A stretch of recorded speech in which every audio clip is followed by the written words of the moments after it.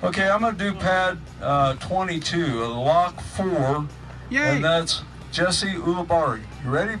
Yep, level one. Five, four, three, two, one, launch. Yeah, there it goes.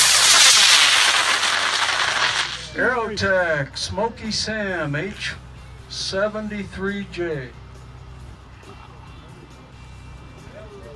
Yeah. Whoa.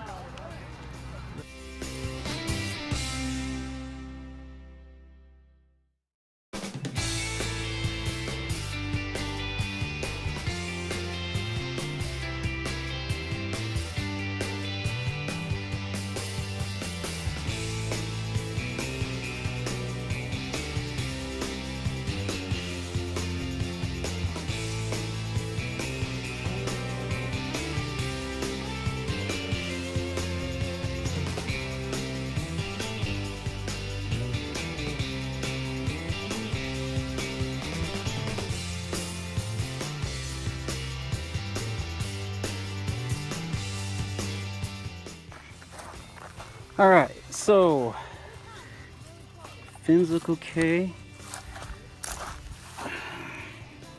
Tube didn't zipper, but it's a got a pretty messy tangle. Got a bend right there on the top, easily repairable. Should still pass because it's uh, still flyable.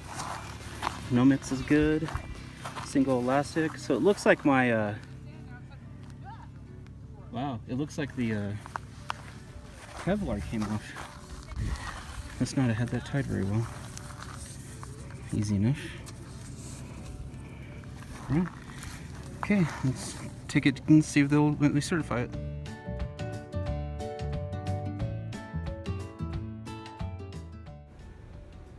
Lee Reep was kind enough to sign off on my attempt, along with Ben Whitfield from the Pueblo SCORE Group. The LOC IV is a great build, and I really highly recommend it.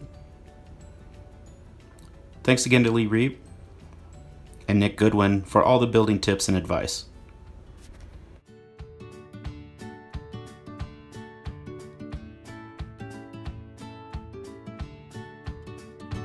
Thanks for watching.